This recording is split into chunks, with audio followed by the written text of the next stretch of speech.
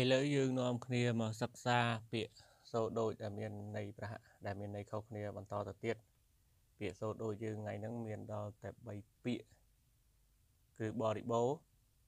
នេះបរិបោនេះបរិបោពាក្យរបបរស្អេបស្អូរឬអានេះឬពាក្យឬទេ ណាហើយពាក្យឬនេះសូមដាក់ពណ៌នេះទៅកុំឲ្យបងប្អូនច្រឡំគ្នាវាផ្សេងគ្នាមិនយើងចាំមើលតាមដានអានេះបរិបោប៉ុន្តែបស្អូនិងណរបាតដល់នេះបរិបោបរស្អូរណតនឃាតអានេះតនឃាតណាបងប្អូនច្រឡំគ្នាអានេះតនឃាតអានេះរបាតផ្សេងគ្នាណាឥឡូវយើងចាប់ផ្ដើម សិក្សាអញ្ចឹងពាក្យនេះមានន័យស្មើគ្នាតែកាលណាដាក់ឬអញ្ចឹងមានន័យស្មើគ្នាហើយអញ្ចឹងហើយអញ្ចឹងទី1យើងថា1ចុះ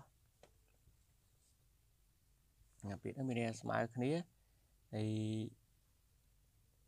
ថ្នាក់ពាក្យជាគុណគុណកិរិយាអើសំទោសគុណនាម ពាក្យជាគុណនាមច្រឡំច្រឡំគុណកិរិយា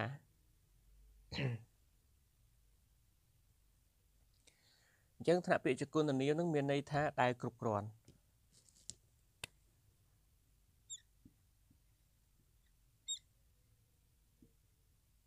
ដែលគ្រប់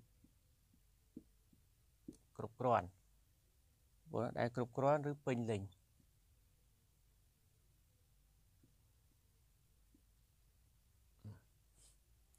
គ្រប់គ្រាន់ឬពេញលេញឬក៏សម្បូរ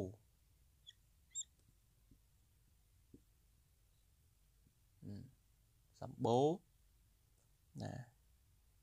ឬក៏ដែលឆ្អែតហើយ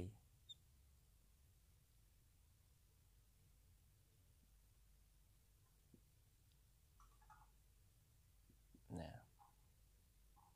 ន័យច្រើនពេកបងប្អូនច្រឡំគ្នាទៀត ណាអញ្ចឹងដែលគ្រប់គ្រាន់ពេញលេញសម្បូរឬក៏ដែលឆ្អែតហើយអឺឧទាហរណ៍ថាមហូបចំណីបរិបូរយកឧទាហរណ៍ណាឥឡូវយកឧទាហរណ៍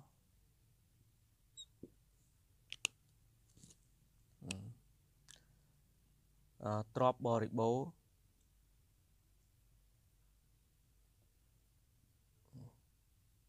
ទ្របធន បរិបូរអញ្ចឹងបរិបូរហ្នឹងនេះបងប្អូនសេ2សេនេះក៏បានសេនេះក៏បានដូចគ្នាណាថាពាក្យជាគុណនាមទ្របបរិបូរចំណីអាហារបរិបូរអ្វីដែលវាបរិបូរគឺនេះហើយគេថាមានគ្រប់គ្រាន់ណាទ្របធនមានគ្រប់គ្រាន់ចំណីអាហារគ្រប់គ្រាន់ណាចំណីបរិបូរចំណីបរិបូរយើងទៅ សេនេះក៏បានដែរណាណហ្នឹងឆ្ងាយអាយ៉ាអីមិនចេះ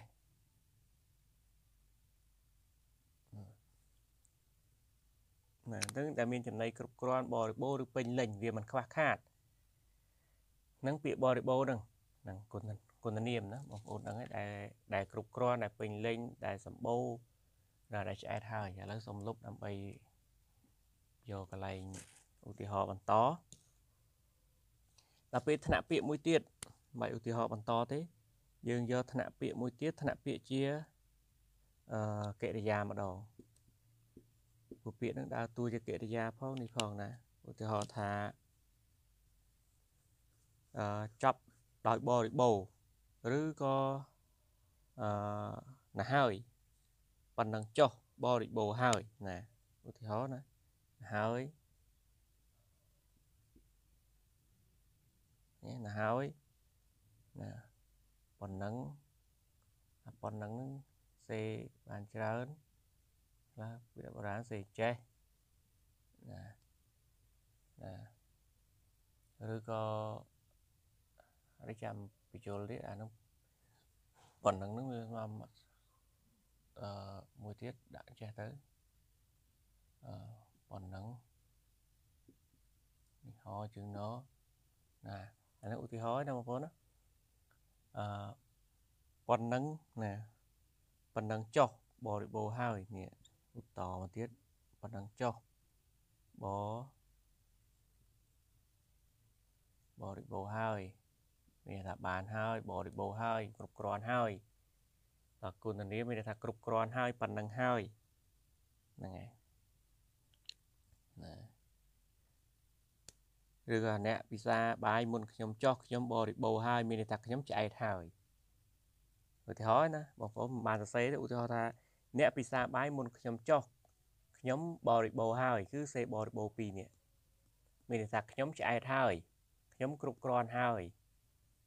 ហ្នឹងក្នុងន័យហ្នឹងបងប្អូនហ្នឹងហើយអញ្ចឹងយ៉ាត់ច្រឡំគ្នា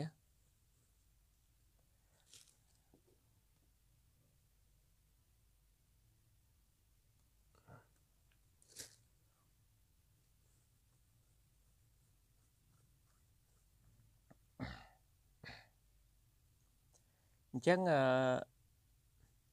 ពាក្យហ្នឹងអឺ យើងយកទៅប្រើនៅក្នុងស្រុកមួយយើងហៅថាស្រុកបរិបូរឧទាហរណ៍មួយទៀតណាស្រុកបរិបូរស្រុកស្រុកបរិបូរគួរតែសរសេរសេនេះហ្នឹងឬក៏អានេះមកថែមអានេះមកណានេះពីរនេះស្រុកបរិបូរអញ្ចឹងគឺគួរសរសេរទៅស្រុកបរិបូរមានថាស្រុកដែលវាគ្រប់គ្រាន់ស្រុកដែលវាមិនខ្វះខាតសម្បូរសបាយអីចឹងទៅ ណាសម្បូរសបាយដោយចំណីអាហារសម្បូរសបាយដោយស្រែចម្ការសម្បូរសបាយអីចឹងទៅសពបែបយ៉ាងហ្នឹងបរិបូរហ្នឹងគឺប៉ុណ្ណឹងចុះបងប្អូនអាចយល់ហើយមានតែគ្រប់គ្រាន់មិនខ្វះខាតដល់ពេលបរិបូរមួយទៀតទី2នេះបរិបូរនេះ ថ្នាក់ពាក្យជានាមមិនពិបាកទេថ្នាក់ពាក្យជានាមហ្នឹងដូចមិញហ្នឹងហើយការគ្រប់គ្រាន់ណាសេចក្តីគ្រប់គ្រាន់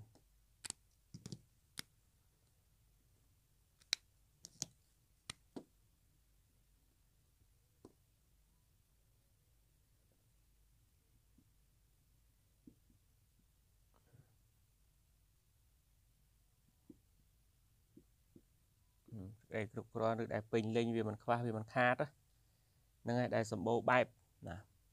សម្បូរណាសម្បូរ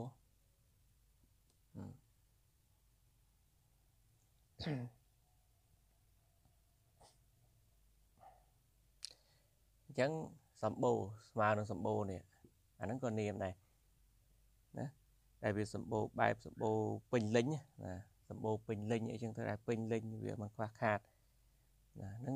ក៏ប៉ុណ្្នឹងចុះណាក៏ណានេះថ្នាក់ពាក្យជានាមអានេះជាគុណនាមហើយនឹងកិរិយាសព្ទតែប៉ុណ្្នឹងទេខ្លីឯងมันมันมันពិបាកឯងប៉ុន្តែបានបញ្ជាក់ខាងដើមមួយទៀតអានេះក៏ដើរតួជាគុណកិរិយាបានដែរបងប្អូនណា សូមបញ្ជាក់មកខាងក្រោយបន្តិចអានេះដើរតួជាគុណកិរិយាបានដែរហ្នឹងទី1គុណនាមទី2កិរិយា ទី3គុណកិរិយាឧទាហរណ៍ថាខ្ញុំទទួលទានបរិបូរខ្ញុំទទួលបរិបូរខ្ញុំទទួលបានបរិបូរឃើញទេទទួលបានបរិបូរគឺអាបរិបូរបញ្ជាក់ឲ្យទទួលហ្នឹងគឺវាដើរតួជាគុណកិរិយាកិរិយាពិសេសហ្នឹងឥឡូវនេះដើរតួជាជានាមណាដែលគ្រប់គ្រាន់អាសេចក្តីគ្រប់គ្រាន់ការគ្រប់គ្រាន់សម្បូរដល់សម្បូរនេះ អឺបងប្អូនប្រយ័ត្នច្រឡំគ្នាណាអឺអាសម្បូរនេះយើងទៅសេមួយទៀតសម្បូរនេះមិញទៅសេឲ្យបងប្អូននឹងបានចាប់អារម្មណ៍អានេះជាគុណនាមនេះ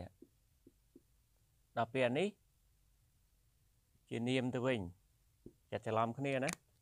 អានេះសមកជើងបរសអូរណតនខេតសម្បូរនេះថ្នាក់ពាក្យជា ជានាមអានេះជាគុណនាមខុសគ្នាណាបងប្អូនណាអញ្ចឹងយើងអាចចំណេញបានពាក្យពីរនេះទៀតណាអញ្ចឹងប៉ុណ្ណឹងចុះបងប្អូនណាអាពាក្យសូដូចហ្នឹងយើងប៉ុណ្ណឹងខុសត្រូវយ៉ាងណាបងប្អូននេះប្រឌិតភាសាថ្មីម្ដងទៀតហើយអាសម្បូរមិញមួយទៀតហ្នឹងចេះតែចិត្តមើលម្ដងទៀតឲ្យបងប្អូនកុំឲ្យច្រឡំគ្នាទៅជល់អាហ្នឹងមួយទៀតមក ណែអាហ្នឹងគុណនាមផងហើយក៏អាចជាកិរិយាដែរដល់អានេះមិញតដែលហ្នឹងអានេះគឺត្រូវតែនាមចឹងតែមកអត់មានកិរិយាមានអីទេអានេះគុណនាមផងកិរិយាផងណាសម្បូរលុយចាយសម្បូរអញ្ចឹងទៅណាទ្របសម្បូរដល់ទ្របសម្បូរលុយសម្បូរអីបងប្អូនយល់ខ្លួនឯងប៉ុណ្្នឹងឯងណាហើយវែងឆ្ងាយពេក